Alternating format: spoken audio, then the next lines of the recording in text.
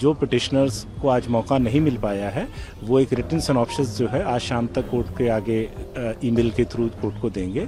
और बाकी जो है, कल रिस्पॉन्डेंट्स भारत सरकार और एनटीए की जो है उनके आर्गूमेंट्स को सुना जाएगा। पूरे एग्जामिनेशन सिस्टम में लीकेज है और अगर एक स्टूडेंट ने भी लीकेज किया है और वाइड स्प्रेड है तो उसका इम्पैक्ट पूरे देश पर है। उन्होंने बोला है कि अगर थोड़े से भी बच्चे हैं जिनको ये बेनिफिट दिया गया है तो शायद रीनीट होना बहुत आवश्यक है to maintain the sanctity of the exam ये डायरेक्शन दिया है कि जो नीट मांग रहे हैं जिनकी सुनवाई नहीं हो पाई है उनको एक हाफ़ पेज का रिटर्न सबमिशन फ़ाइल करने के लिए बोला गया है। लंच से पहले जो है वो सारा डाटा जो रिज़ल्ट डिक्लेयर करा गया था, उससे रिलेटेड डाटा को एनालाइज करा गया, कोर्ट के आगे बताया गया, सीकर और बाकी सारी चीज़ों को लेकर कि किस तरीके से, सीकर में अनप्रेसिडेंटेड हाइक थी।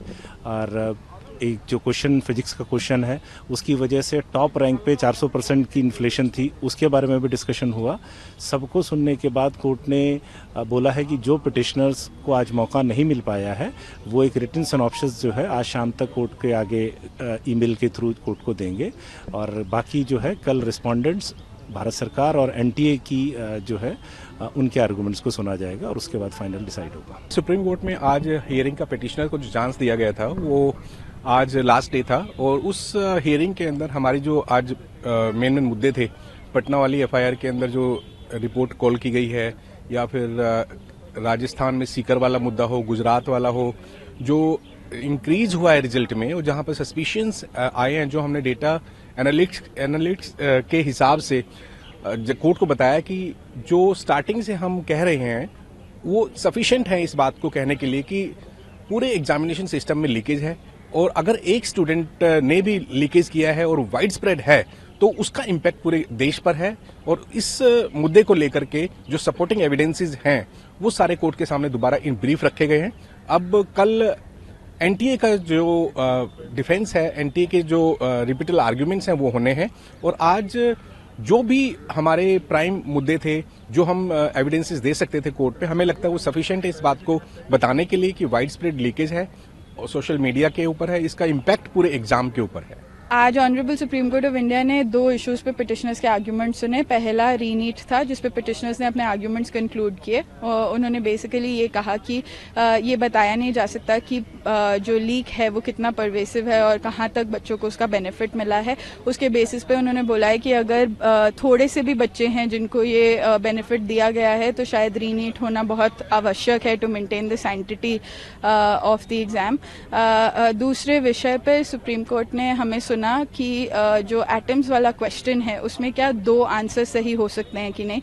सुप्रीम कोर्ट का ये मानना था क्वेश्चन पढ़ने के बाद कि दो आंसर शायद नहीं सही हो सकते और वो म्यूचुअली एक्सक्लूसिव हैं। उसके बेसिस पे उन्होंने आईआईटी दिल्ली को डायरेक्ट किया है कि वो एक कमेटी बनाए और बताएँ कि कौन सा आंसर सही है और उसके बेसिस पे ऑर्डर्स इशू होंगे। जैसा कि एनटीए ने अभी हमको डेटा प्रोवाइड किया है माननीय अदालत के डायरेक्शन पे तो उस डेटा का हम लोगों ने एनालिसिस किया और उसमें जो भी इरेगुलरिटीज थी, वो सारी कोर्ट के सामने हमने पॉइंट आउट की है। उस डेटा के बेसिस पे हम ये कह, दिखाना चाह रहे हैं, कोर्ट को ये दर्शाना चाह रहे हैं कि पेपर लीक हुआ था और आज की डेट में हम ये असरटेन नहीं कर सकते कि वो पेपर लीक किस लेवल पे हुआ था। अभी उसकी इन्वेस्टिगेशन जारी है।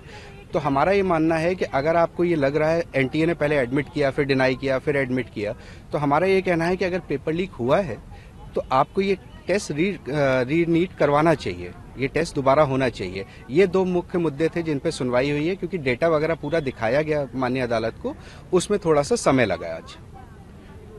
सुप्रीम कोर्ट ने कुछ डायरेक्शन भी दिए आज हियरिंग के दौरान। क्या डायरेक्शन दिए हैं? माननीय अदालत ने दो डायरेक्शन दिए हैं। एक तो ये है कि एक क्वेश्चन था एक पिटीशन में एक क्वेश्चन के ऊपर एक सवाल उठाए गए थे कि ये क्वेश्चन के दो पॉसिबल आंसर्स हैं। तो माननीय सुप्रीम कोर्ट ने आईआईटी दिल्ली के डायरेक्टर्स को रिक्वेस्ट किया है कि आप में, इनमें से जो सही आंसर है, वो कल 12 बजे तक हमको अवगत कराएँ कि क्या इसमें से सही आंसर है। ऑप्शन कौन सा सही है? और दूसरा ये डायरेक्शन दिया है कि जो नीट मांग रहे हैं, जिनकी सुनवाई नहीं हो पाई है, उनको एक हाफ़ पेज का रिटर्न सबमिशन फ़ाइल करने के लिए बोला गया है।